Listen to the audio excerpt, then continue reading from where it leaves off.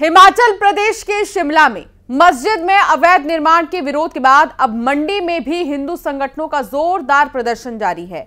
मंडी में jail road पर बनी मस्जिद में अवैध निर्माण को गिराने की मांग को लेकर प्रदर्शन हो रहा है।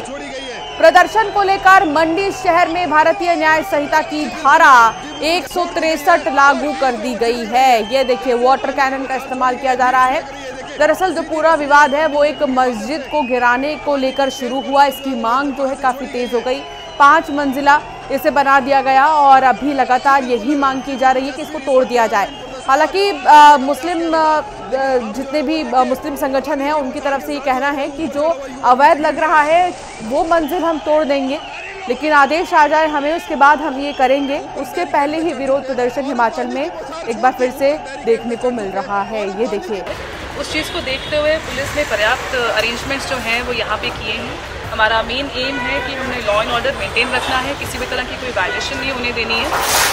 इफ़ समबडी इज़ कमिंग किसी का कोई पॉइंट है पीसफुली की आगे बताना चाहते हैं कुछ बात रखना चाहते हैं that's different thing but law and order has to कितनी फोर्स जो वो डिप्लॉय की गई है? मंडी शहर में या सराउंडिंग में और कहाँ कहाँ पे आपकी तरफ़ से जो वो नाकेबंदी की गई है?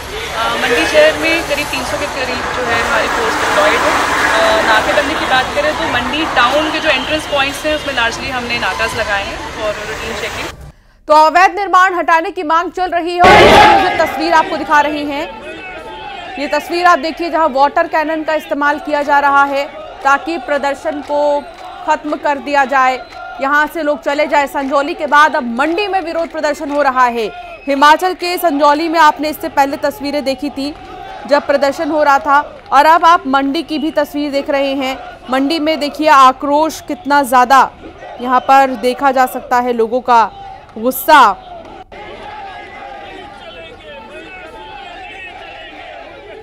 और अभी भी ये गुस्सा जो है वो शांत नहीं हुआ है।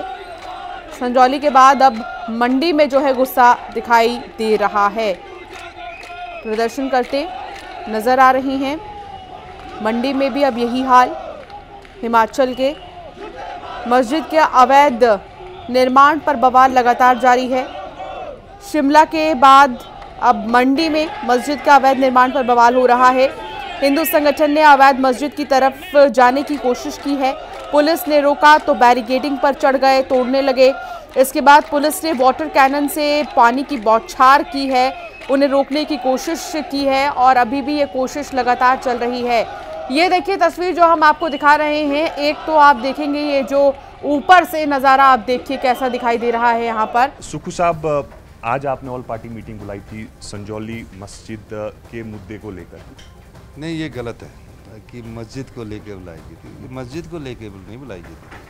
ये प्रदेश में कोई भी हम अपने सौहार्द को ना बिगड़ने दे और प्रदेश प्रदेश के पर्यटकों को हम ये बात कहें कि आप हिमाचल प्रदेश आइए, क्योंकि जिस तरह मीडिया में दिखाया जा रहा था, वो एक स्थान पर प्रदर्शन हो रहा था। छोटी सी गली थी, उसमें लाखों, हज़ारों लोगों को दिखा दिया गया।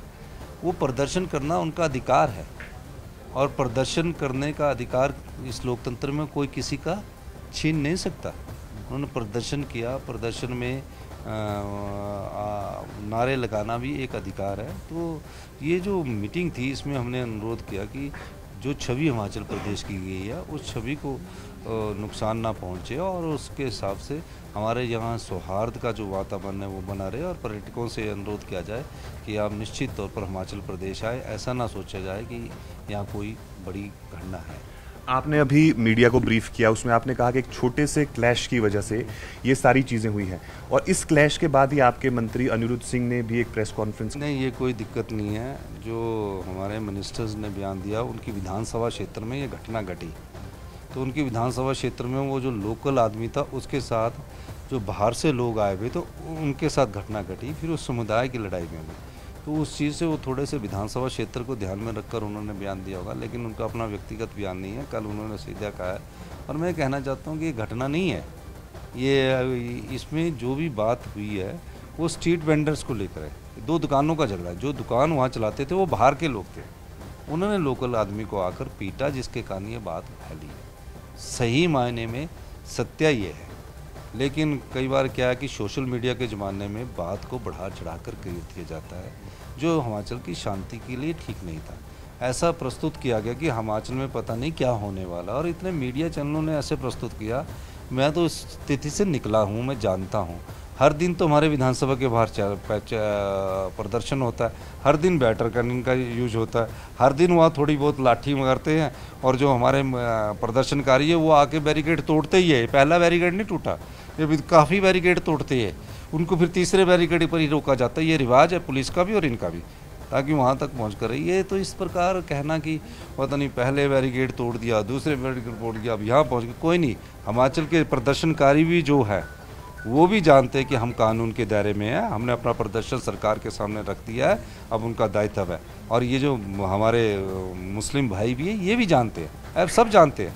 इसीलिए इस प्रकार की बात करना बड़ी बड़ी वो बात, कई, मैं तो ऐसे सुन रहा था कि अब ये होगा।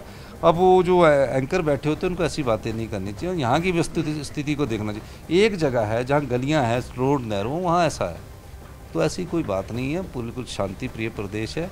और मैं आपसे भी चाहूँगा कि प्रदेश हमारा बड़ा सौहार्दपूर्ण है। प्रदेश में सभी धर्म, चाहे सिख है, ईसाई है, मुस्लिम है, सबको प्यार से रहने की इजाज़त है। छोटी बात को राजनीतिक रोटियाँ सेकने के लिए बड़ा ना बनाया जाए, यही मेरा